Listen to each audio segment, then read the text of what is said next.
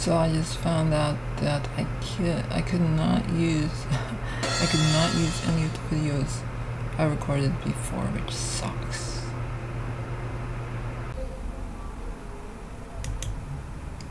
So this is my basic streaming layout.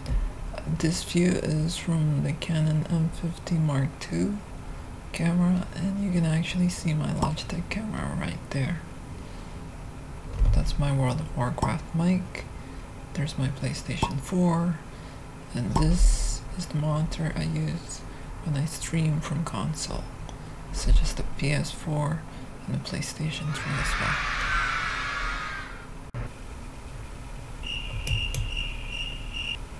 So that's it for me today. Uh, it's really too bad I lost all the footage I recorded earlier, but it was in the wrong file format. I'm extremely tired now, so I'll probably record some more vlogs tomorrow. Let's see. Have a great evening.